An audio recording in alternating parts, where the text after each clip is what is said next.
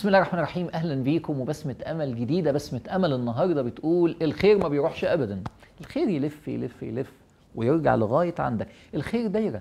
أيوه دايرة. يعني لو باد الخير في نقطة يلف يلف ويقوم راجع لنفس النقطة. يعني يرجع عندك تاني.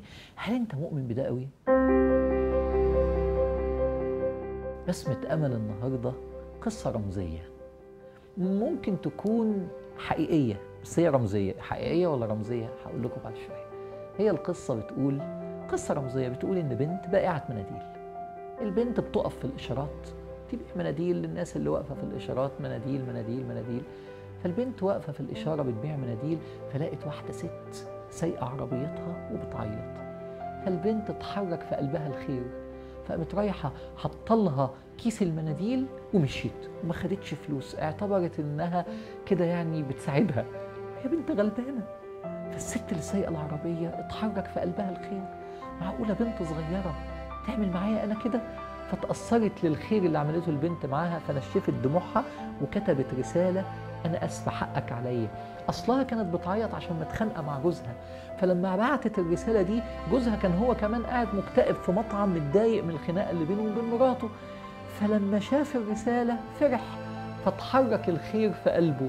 فقرر إن الويتر أو الجرسون اللي موجود في المحل يديله بقشيش فقام مطلع 100 جنيه وقال له دول علشانك.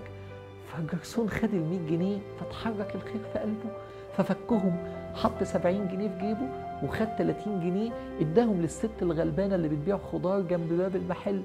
الست خدت الفلوس وراحت على الجزار تشتري لحمة.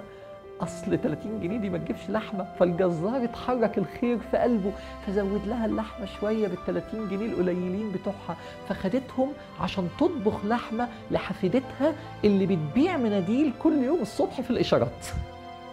فاهمين؟ لف الخير ورجع للبنت الصغيرة تاني. دي قصة رمزية ولا حقيقية؟ دي قصة بتحصل في حياة كل واحد مننا. كل واحد مننا بيحصل معاه كده. بس إحنا عشان الحياة بقت مادية قوي ما بنتابعش إن الخير رجع تاني. والله بيرجع تاني. وجرب. الخير دايرة. يلف ويرجع لك تاني. ربنا بيقول إن أحسنتم أحسنتم لأنفسكم وإن أسأتم فلها. الخير يدور ويعود إليك والشر كذلك فاختر ما شئت. إيه رأيكم؟ بسمه امل للي يعمل الخير ويبقى مطمن الخير ما بيروحش. الخير لازم يرجع تاني. شكرا والسلام عليكم ورحمة الله.